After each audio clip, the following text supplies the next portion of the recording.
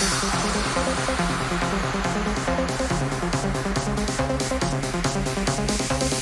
guys, today I'm going to discuss uh, one of the very important areas of decision making. We call it relevant costing. Guys, this concept is so important. Let me tell you, once you understand this concept of relevant costing, it will change the way you think and the way you make decisions. Hi, I'm the commerce specialist. Welcome to my channel where you'll find videos covering various learning outcomes of professional certifications and qualifications, including life changing business ideas and hacks. Guys, one important, gentle, and humble request to all of you I've checked in my YouTube analytics that out of, let's say, 100% people who watch my videos, 75% are not yet subscribed. So I request you to please subscribe the channel and support my channel. Thank you so very much. Let's start with relevant costing. When we take decisions, there are many factors and variables which we consider. Some of them are irrelevant for the decision, some of them are relevant. So our focus is to remove the irrelevant aspects, irrelevant factors, which unnecessarily confuse us. And our aim is to focus only on the relevant factors. We call them the relevant cost. Let me give you an example. So by now everybody knows that I teach. So students from all over the world, they contact me for different courses. So when I tell them how much it's going to cost, so most of the students are telling me, oh sir, you are so expensive. Now the reason is that is my relevant cost. I have certain scenarios, certain circumstances, certain opportunities available. Based on that, when I make a decision, I only include my relevant cost. For example, if you compare two teachers, one would be charging you, let's say, 2000 US dollars, somebody would be charging you 200 US dollars, and somebody free even, because it all depends upon their circumstances and the relevance of the various uh, variables. So let me give you few tips. Whenever you are making a decision, there are certain costs which are very much relevant to the decisions and there are certain costs which are not at all relevant to the decisions. For example, any amount which you have spent in the past is considered sunk cost and it is never relevant to a decision. For example, if I need to change the tires of my car, the car I have purchased four years back for 20,000 US dollars. Now, when I'm taking a decision to change the tires, that 20,000 US dollar is no more relevant. Why? Because it has already been incurred. The decision is relating to the tires. So, what is more important is what type of tires I'm going to buy, what is their cost, what is their safety, what is their durability, so on and so forth. How much I purchase the car is irrelevant because whether I replace the tires or not, I'm not going to get that 20,000 US dollars back. So please keep in mind any amount spent in the past is not relevant to the decision and we call them sunk cost. Another important factors we have to keep in mind when we are looking at decisions and especially relevant cost is a cost which is common to two different options or two different decisions. For example, if I need to take a house on rent. So if both the houses are in the same locality, the rent is the same, so rent is never a relevant cost. Why? Because whether I go for option A or option B, house A or house B, the rent is let's say 2000 US dollars. What is relevant to the decision is something which is not common to both the options. For example, uh, house A comes with uh, reserved car parking for which I have to pay 200 US dollars extra. So otherwise rent is the same. So I'm not looking at rent because whether I go for option A or B, I have to pay the same rent. So now rent becomes an irrelevant cost. What is relevant is the extra I'm paying for the parking. Another important point for relevant costing is all those costs which are incremental are relevant to our decision. We also use a word out of pocket cost, which means if I go with decision X, how much money would I have to pay? What would be my incremental cost? So please remember, relevant costs are all those costs which are incremental to that specific decision. And any cost which has already been incurred is irrelevant. So these are some basics of relevant costing. Now I have got two questions for you. in which uh, I am going to discuss the various aspects of relevant cost, especially relating to material, labor, and overheads. And let me tell you once again, it's going to change the way you think. So if you look at this question, what is happening here is a customer is willing to pay 22,000 US dollars for a special job. The job requires the following material, material A, B, C and D. Now the data which is given for all the four material is kilograms required to complete the job. Material A will require 1000 kilograms to complete the job. If you want to do the job, we need 1000 kilograms of material B, 1000 kilograms of material C and 200 kilograms of material D. What we have in stock already is nothing for material A, 600 kilograms of material B is already in stock, 700 kilograms of material C is in stock and 200 kilograms of material D is in stock.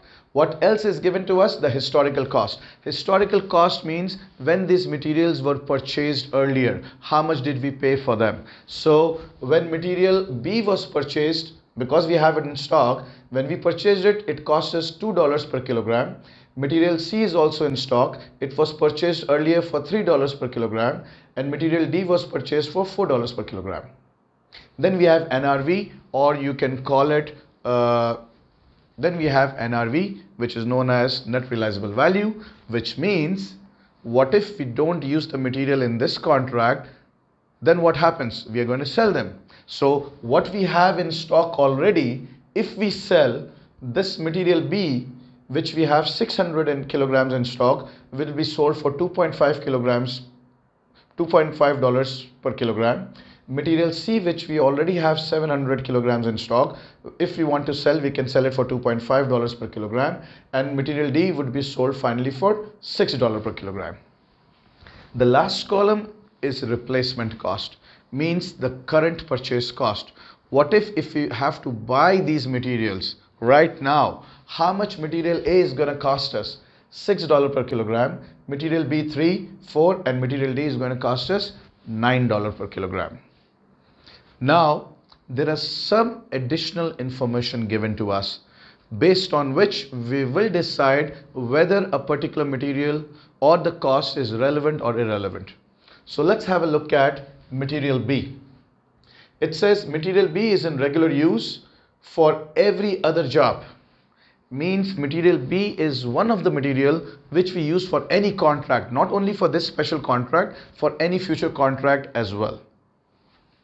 Material C and D are in stock due to overbuying and there is no other use for material C which means if material C is not used in this contract it would be probably sold.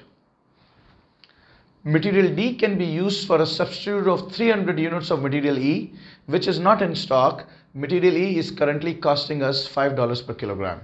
What we need to understand here is should we accept the special order for which customer is willing to pay us 22,000 but for doing that we need to understand what is our relevant cost. Not just cost relevant cost. So let's take them one by one. And I'm explaining this also. So if we look at material A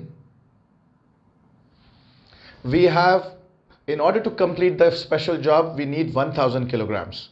Do we have anything in stock? No. That means we have to purchase. So if 1000 kilograms are purchased, the current replacement cost is $6. So for material A, it is 1000 uh, kilograms we need and it will be purchased for $6. So the cost would be 6000 Let's talk about material B. Material B, to complete the contract, we need 1000 kilograms. Only 600 kilograms are in stock. And what is said here for material B? Now, this is very important. It says material B is in regular use for every other job. Now, here you need to understand whenever the question tells you that material X or Y or Z is in regular use, there is a rule of thumb. If a material is in regular use, the relevant cost is the current replacement cost, which means we have to buy this every now and then. So if you use it for the special job, for any X potential new job, we still have to buy. So if the material is in regular use, the relevant cost is always the current replacement cost, which is the current price of the material, which is $3. So I'm going to take 1000 kilogram, ignoring what I have in stock, whether I have it in stock or not, I'm going to charge 1000 uh, kilograms directly with the replacement cost, which is 3. So this is going to give me 3000. Coming to material C. Now it says clearly here that material C and D are in stock due to overbuying in the past. And material C has no other use, which means if we don't use material C in this special contract, we are not going to use it for any other contract. So what option do we have? Either to use it in this contract and if you're not using in this contract, we would just sell material C and if we do that, it will be sold for 2.5 kilograms which means if we never had this special contract what we would have done with material C we would have just sold it so if we had sold it we would have got 2.5 dollars per kilogram so if you're not selling we are using it in the new contract at least we need this much money now one thing you should understand why the historical costs are not relevant because it's a sunk cost we have already paid it whether we purchased it too expensive, too cheap, that's history. What we need to look at is in this contract, we need 1000 kilograms. 700 we already have. And if we don't use the 700 kilograms in this contract, what is the next best use? We would have sold it. So that net realizable value or the scrap value of material C is a relevant cost for the units we have in stock. So for material C, 700 units which we have, kilograms which we have in stock, the relevant cost is if you don't use it in this contract we are going to sell this for this so multiply by 2.5 dollars and obviously we need 1000 kilograms 700 we have we have already taken the relevant cost another 300 kilograms will be purchased and when we purchase this the replacement cost or the current purchase price is four dollars so this will be twelve hundred dollars and this would be 700 into 2.5 will be 1750. Now for material D, it is very interesting. Some additional information is given. It says material D was is in stock because it was uh, a result of overbuying in the past. That's okay. But material D can be used to substitute for 300 kilograms of material E, which is not in stock and obviously used for other projects. Material E currently costs us $5 per kilogram, which means this 200 kilograms of material D we can use as a substitute for material E, which will cost us this much. If we take it as a substitute for material E, this 200 is can be substituted for 300 kilograms of material E which cost us 5 per kg.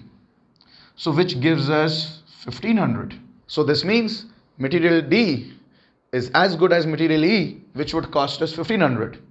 And what if we don't use material D for this contract at all? It was a result for overbuying, then probably this 200 if you're not using for E, we would sell it for $6. Otherwise, the NRV for material D is 200 into 6, which will give us 1200. Now, if you compare these two, we have to take the higher one. Why? Because if we take 1200 here for this contract, that means for any other contract, we have to pay 1500 to buy material E and complete that other contract. So if I have something worth 1500 and if I'm using for this special contract at least I should get 1500 for material D so that in future if I even if I have to buy material E I already have 1500 so I'm going to take the higher of this which is 1500 so if I total all these up I get 13450 and this is my relevant cost how much the customer is willing to pay us 22000 so it's very much feasible for us. Let me tell you, this is our relevant cost. For any competitor, it could be more or high. The aim is not just to quote the minimum price. The aim is to quote the price which is relevant for us. In other words, how much it costs to us. Whatever cost to uh, us is not the same what it costs to anybody else. If a product costs X to us, does does not mean the same product or raw material will cost X to somebody else. We have to quote looking at our relevant cost. The aim is not to quote the highest possible price or the lowest possible price. The aim is to quote the relevant cost so that we don't miss anything. Now in the next uh, question, I'm going to discuss the relevant cost not only for material but for labor and overheads as well. So have a look at this. It says Hamza LLC prepared an estimate for a job. Details are below. Direct material, which is steel, 600,000. Direct labor, which is wires, 100,000 direct labor, skilled direct labor, 3000 hours at the rate of 100 per hour, 300,000. Direct labor, unskilled, 10,000 hours at the rate of 40 per hour, 400,000. Variable and fixed overheads were 150 each. Total cost was 1700,000 and the company billed the customer by adding 20% markup which makes it 2.04 million. And this quote was rejected. So what happened when the quote was rejected, we reviewed the quote. Did we make any mistake? And probably if you are a management accountant, expert in decision making, forecasting, budgeting, and you have an understanding of relevant cost, you found these important additional information. The very first one says skilled labor is short in supply and earn a contribution of $10 per hour. So what I'm going to do here in this, I'm going to re-estimate applying the principles of relevant costing and you're going to see what difference it makes. So let's take them one by one. It says direct material steel is for 600,000. Anything given for steel?